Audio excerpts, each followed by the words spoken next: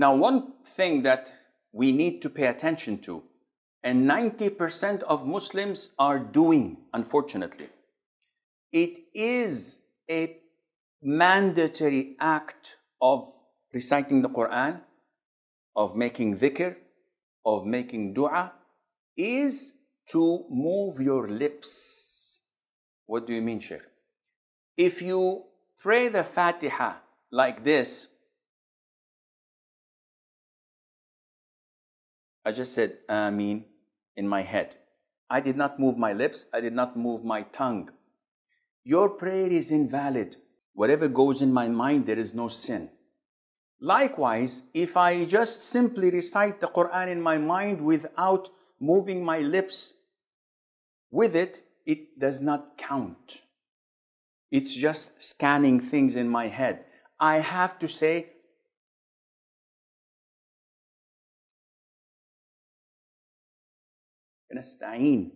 I have to move my lips and my tongue. And this is why when some of the companions of the Prophet ﷺ came to him, he said to him, Your tongue must remain moist with the remembrance of Allah.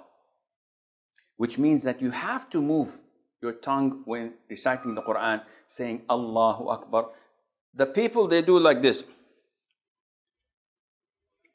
And they keep on their prayer without moving the lips, and this is totally wrong.